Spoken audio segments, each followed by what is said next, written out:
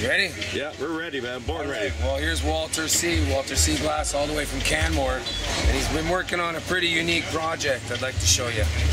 Let's Check it out. Walter. Walter works with uh, gun mount glass.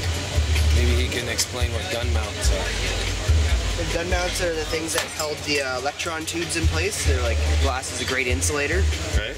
so they're like they bolt the metal together and they put it inside the electron tube, and then uh, that's what puts the picture on the screen. From the television. Yeah, from the Wow. CRT TVs. This is the guy I'm working on. So he stands like this. Stands like this. You'll have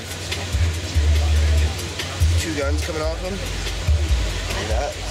Holy smoke. And then uh, shoulder cannon right here. Shoulder cannon. Wow. That's crazy. How many hours you got into this piece? I spent uh, the last two, three days on it. Solid? Yeah. Amazing. I made one pendant and one bowl. That's the only other thing I made. Yeah, buddy. Are you gonna sell it or gonna keep that piece for yourself? I'm gonna sell it. I have my prototype over there, Right? and that's kind of mine. You need a bigger kiln, man. Yeah, I gotta get a bigger kiln to finish off the arms Yeah. there.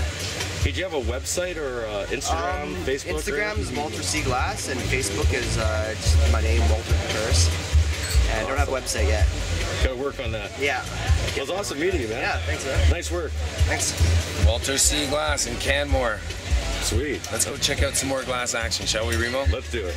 All right, after we smoke a joint. Okay. All right.